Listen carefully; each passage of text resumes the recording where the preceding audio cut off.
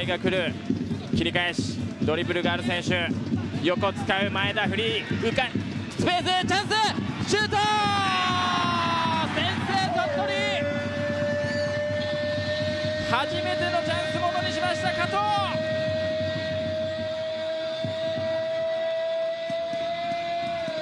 前田俊介真ん中でフリーになってスルーパスが来ました。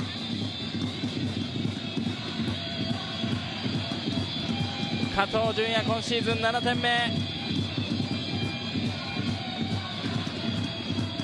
前田がここで受けて足の間を狙ったパスかもしれません。最後は加藤しっかりキーパーを見て逆をつきました。